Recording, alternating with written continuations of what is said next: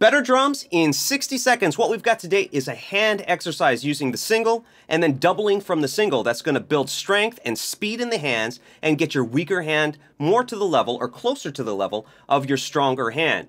Here's the exercise, quarter notes in the hi-hat for your reference.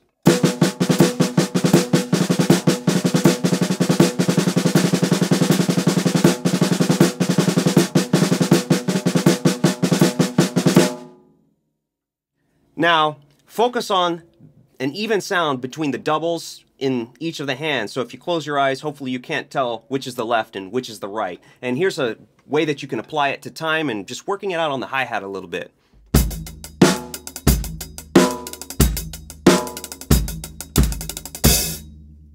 So again, practice to a metronome. Try to play in the center of the drum for consistent sound and tone.